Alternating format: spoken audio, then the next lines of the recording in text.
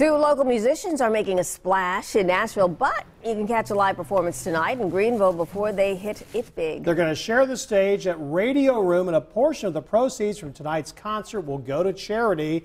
7 News' Jennifer Martin live at our 7 on Main studio. We'll give you a sneak peek at that. Hey, Jennifer. Hi, good morning. So Taylor McCall and Claire Beverly, are, these are the names that you need to know because they're about to hit it really big in Nashville.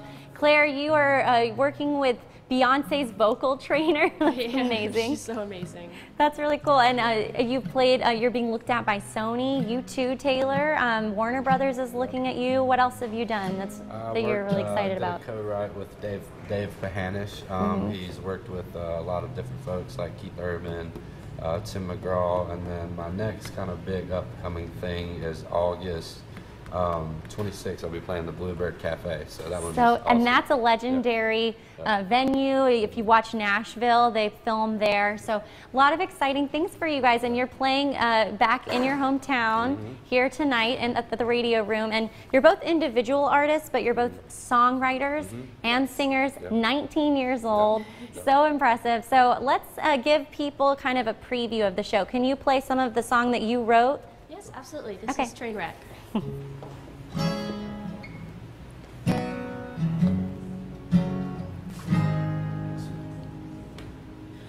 Raise a bottle to your tongue, we'll erase what we've done. Train wreck of our lives, but we'll leave it all behind.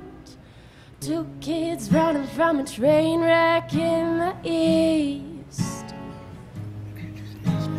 Say we're heading north to escape the heat of his gun pedal to the floor, flashing lights around the corner, blood pumping as we leave the car. Running from everyone.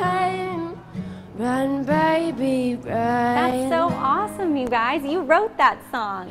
Thank you. And Taylor, you've never really worked together, but you've been harmonizing all morning. Yeah. And he's an amazing guitar player. Like we just asked him a few days ago if he could play for me, and then he just picked it right up. It's like, yeah, I've got it. And earlier in Daybreak, you know, you played a song that you wrote and you picked it up. So you guys obviously work very well, but um, but so exciting. And we've got their music producer here, Will Golly. Um, so you you noticed these guys, and you said we need to bring them to different places in Nashville. What was it about them? It was both. Claire was beautiful, obviously, and uh, that's a big part of uh, the industry. Mm -hmm. Fortunately or unfortunately, for her, fortunately.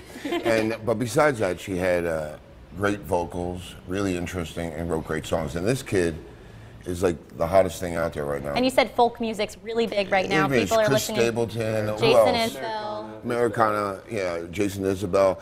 And with him, he's really struck a chord with the people that play that music. Like uh, Jason Isbell's people yeah. are, are wanting to talk to him. Well, so excited for you. Thank you so much for no discovering problem. them. They were just, you know, walking around here in Greenville. And if you want to see them again, uh, that's at the Radio Room. T uh, doors open at 7 and tickets are $12 and those proceeds go to benefit Project Host. Project so Host. it'll be a, a really fun night. and also check out some of their music. We have videos on our websites. We're looking forward to that. Jennifer, it's been a fun morning. It has been really fun. Thank you guys so much for giving us some music on our show. yeah. All right. Thanks, Jen. Thank We're going to go to Emily now. She's got your live.